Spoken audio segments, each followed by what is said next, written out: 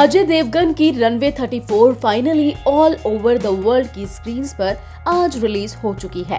ये फ़िल्म इस वजह से भी खास चर्चा में है क्योंकि इस मूवी को खुद अजय देवगन ने डायरेक्ट किया है। फ़िल्म की हर तरफ़ खूब तारीफें हो रही है। जिन सेलेब्स ने भी इस फ़िल्म की स्क्रीनिंग देख ली है, वो इसकी जमकर प्रशंसा कर रहे हैं। मगर अब हम आपके लिए लेकर आ चुके हैं फ़िल्म का बिल्कुल ऑनेस्ट रिव्यू कि आखिर वाकई आपको फ़िल्म सिनेमा घरों में देखनी जानी चाहिए या फिर नहीं।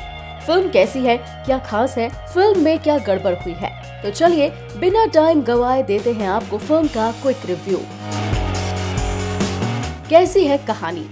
साल 2015 की दोहा कोची फ़्लाइट की इमरजेंसी लैंडिंग की असल घटना से इंस्पायर्ड इस फ़िल्म के सेंटर में कैप्टन विक्रांत खन्ना, यानी अजय देवगन और उनकी को पायलट तानिया अलबर करकी उर्फ़ रकुलप्रीत सिंह है।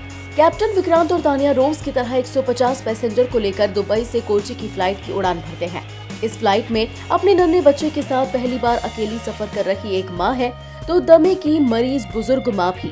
एक सोशल मीडिया इन्फ्लुएंसर है तो एक एयरवेज जर्नलिस्ट भी। सब कुछ जनरल तरीके से चल रहा होता है। लेकिन जब ये विमान अपनी मंजिल यानी कोची हवाई अड्डे पर पहुँचता है तो कुछ ऐसा होता है जिसकी कल्पना किसी ने नहीं की होती। कोची का मौसम बेहद खराब होने के चलते फ़्लाइट को उतारना मुमकिन नहीं होता।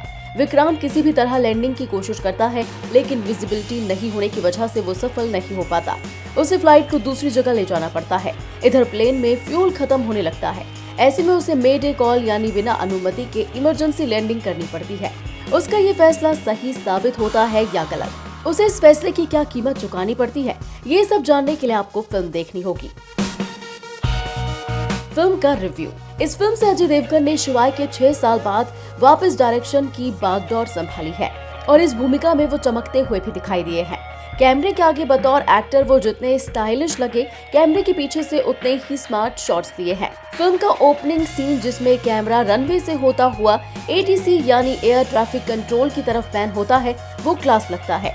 वहीं इंटरवल के पहले फ़्लाइट की लैंडिंग के सीन साँसें रोक देते हैं। इसका श्रेय बढ़िया वीएफएक्स के अलावा असीम बजाज की उम्दा सिनेमेटोग्राफी और अमर मोहिले के बैकग्राउंड म्यूज़िक को जाता है।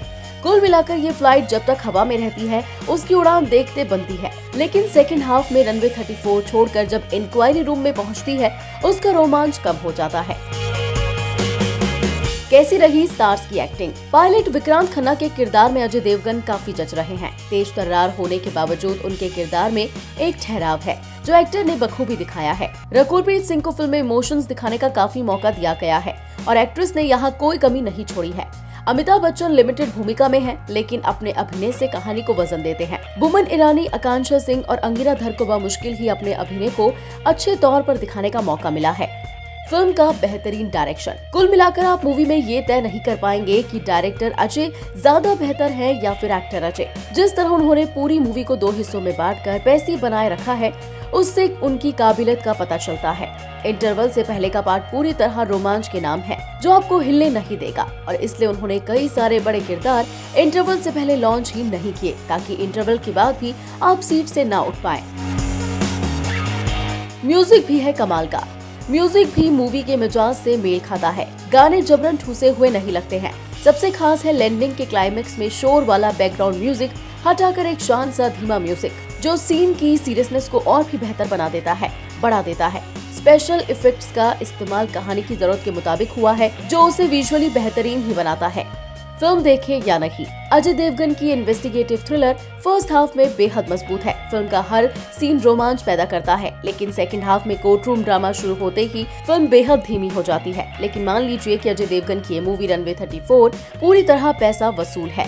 आप किसी भी एज और मिजाज के हो, आपको मज़ा आना तय है। और अगर आप अजय देवगन या रकुलप्रीत सिंह के फ़ैन हैं तो समझ लीजिए आपके लिए इस सीज़न की ट्रीट है। हमारी तरफ़ से इस मूवी को three stars out of five Bollywood की latest news gossip film reviews song reviews के लिए सब्सक्राइब करें हमारे चैनल क्रेजी फॉर बॉलीवुड को।